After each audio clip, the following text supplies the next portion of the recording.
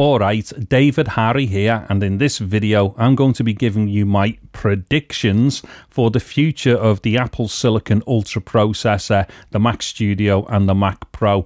Now when I say predictions, I am clearly saying to you I am guessing at all of this. However, and to be truthful, there's absolutely nobody on YouTube who is doing the same thing that I'm doing who isn't guessing at the future of any of these things. And I dare say that outside of a handful of people within certain departments at Apple, probably not many people at Apple truly know what the future for these things are either. Anyway, so what I'm going to do is just quickly go up to speed as to where I think we're going to be before the end of this year. And then I'll kind of backpedal and talk about a couple of other things which is going to lead us up to that point. So right now, we are on the M3 Ultra processor, which right now is the most powerful Apple Silicon processor, and it is going to be a very good processor. However, I believe that we are going to see the next Ultra processor within this year, at the very latest, early next year. But I'm talking like no later than nine months' time for the next Ultra processor, and possibly it might come within the next six months, and that will be going into the Mac Pro. So at that point, we are going to have either an M4 Ultra or an M5 Ultra. Now, Apple have already said not to be expecting an Ultra chip within every single series of like every M series release and stuff like that. That may have been them hinting that the Ultra will now come out for M5. But regardless of whether Apple are trying to like, you know, throw red herrings here and there, which wouldn't surprise me, um, we're definitely going to see an Ultra before nine months is up and done. And at that point, that Ultra is going to be either M4 or M5. So let's just pretend that this happens in six months' time. Well, in six months' time, we're going to have a studio with M3 Ultra. We're going to have a Pro with, let's call it M5 Ultra for now, just for argument's sake. So M3 Ultra, M5 Ultra.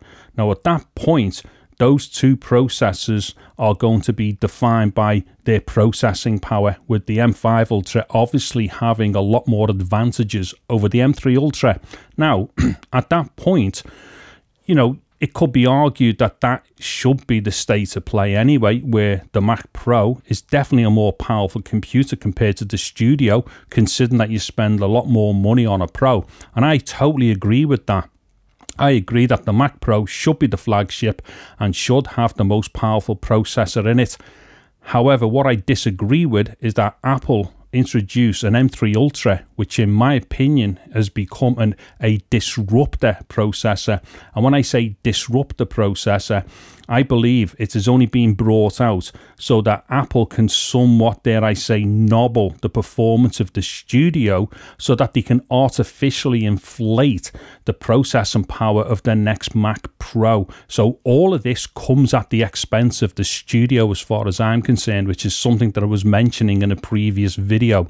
So let's just pretend that in six months' time, that's when this swap over happens, or it could be nine months at the latest. We are definitely going to have the Pro with a more powerful processor than the Studio, then at that point, it's highly likely that when there is an update to the Ultra processor, that the Studio and the Pro both get released on the same day for future releases, only because we then have that true definition between the processing power between them. Because don't forget, if after that point the next processor was, say, M6 Ultra, then at that point, Apple could easily pump out M5 Ultra for the studio and then go M6 Ultra for the Pro, and then they could do that on the same day. And like I say, keep a cycle going then.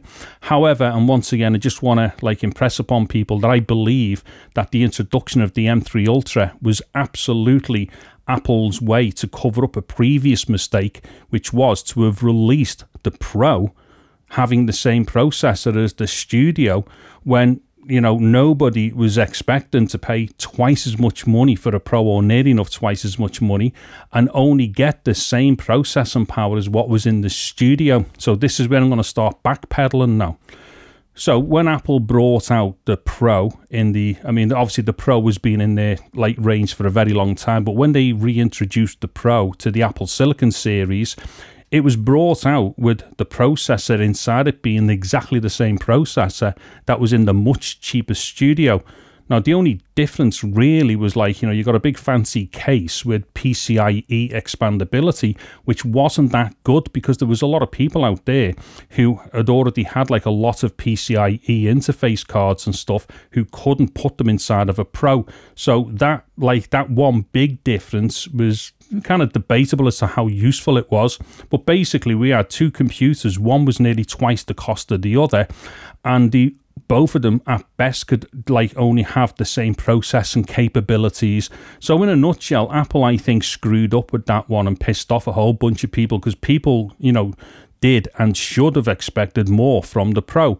So moving forward, we do have to have that readdressed. You know, I'm not sitting here saying like, you know, oh well, the studio should always have the most powerful processor in. I totally agree. Even though I would never buy a Pro, I, it's they're of no use to me. But the Pro should definitely always have the most powerful processor in it but not at the expense of the studio owners who have supported the Ultra processor up to this point. So what I'm saying is, is that Apple have brought out the old M3 Ultra very specifically so that they could stagger the growth of the studio so that the next Pro actually looks a lot better than what it really should be. Or, or actually, well, it, I'll get to this point. The, the Pro should be even better, to be honest. But what I'm saying is the M3 Ultra is designed to go into a studio. It is a short-lived processor as far as like, you know, how long it is going to be the most powerful processor. And then when the next Pro comes out, that is going to have the next ultra processor in it. And then at that point, we have the clear definition between the processing levels between the two computers themselves, the Studio and the Pro. But it is all being artificially done by Apple. Now, at that point, let's just pretend that the next processor, let's call it M5 Ultra, let's just say that that goes into the Pro and we've got the M3 Ultra in the studio. Well, from that point, anytime there's a new refresh of the processor, say we go to M6, and this is what I'm saying about the whole cycle thing, the M6 then would have an Ultra go into a Pro, and then the previous M5 Ultra would then go into the Studio. And then at that point, both of those computers can then start cycling on, like, you know, a periodic basis, whether that's 12 months, 18, or 24, doesn't matter. But at least both of those computers can then be released on the same day. And Apple is safe in knowing that the Pro is always going to be more powerful than the Studio, and obviously give like you know Pro owners or users you know the reason why to buy one because it is going to be the most powerful. But like I'm keep saying, don't forget, this is all done at the expense of the studio users because right now, whatever the next like most powerful Ultra is, whether that is M4 or M5 later this year, that should by rights have gone into the studio. And what Apple should have done was to was to have increased the process and power capabilities of the Pro by putting in a more powerful processor. So let me just talk a little bit about that. So at one point, we were hearing last year and it maybe even into this year that we might have seen an extreme processor. Well, regardless of what the processor's name was, uh, basically we were looking at a processor which was essentially twice the power of an Ultra. Now, if Apple had have brought out one of those, then at that point, there would have been no problem putting in the very latest Ultra into the studio. And then this Extreme or whatever it is could then definitely go into a Pro. Now, at that point, let's just pretend that these were M4. So we've got M4 Ultra and M4 Extreme, for want of a better description for the name. So both of those processors come out on the exact same day. One goes in the studio, as in the M4 Ultra, and then the M4 Extreme goes in the Pro. Now, at that point, that would have been the best thing ever because we would have had a massive difference in processing power for those who want to spend all the extra money for a Pro but the studio users would be all up to date on the most current version of the Ultra. Then at that point, when Apple starts cycling like their refreshes for both the Ultra and the Extreme, they could do them on the exact same day. So both the Studio and the Pro would come out the same day with the new versions, and that whole cycle could go on for as long as Apple want to do that. However, there's another thing we have to consider here, and that is that right now, because the M3 Ultra has been thrown into the equation, it doesn't mean that we are always going to be on a similar cycle to whatever the Pro goes to as to whatever the Studio goes to. And if the Pro does indeed get an M5 Ultra, that's going to mean that the Studio will always be two series behind as far as Ultras are concerned. So as we can see here, my prediction is more about it's well it's basically it's a criticism it's a massive criticism as to the way apple have gone about introducing the pro when they did and they shouldn't have done it. And then what they've done, they've got themselves into a pickle over it and then decided to make the studio owners suffer for this. Now, none of this is to say that the studios, and especially the one right now with the M3 Ultra, that's not to say it's not going to be a powerful computer. It obviously is, and it will be a powerful computer in two years, three years' time if you bought one today. The problem is, as far as I'm concerned, is that we should have expected more from the next Ultra chip going into a studio and we quite clearly haven't had that. Anyway, I think what I've done here is to describe and explain what I think the future is here.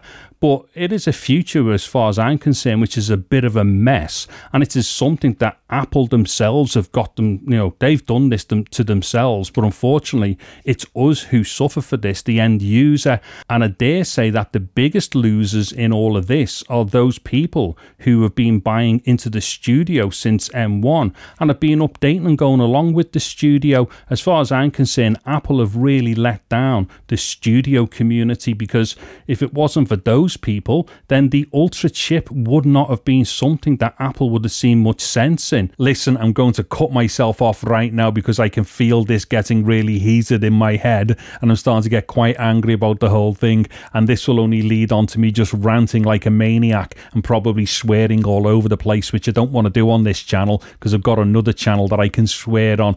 But the bottom line is here is that I just believe that Apple have basically crapped on the studio community. So all those people who have really helped to like, you know, show Apple that the Ultra processor is a really viable processor because the amount of people who committed to the studio platform I just basically think Apple have shit on these people full stop. Do you know what I mean?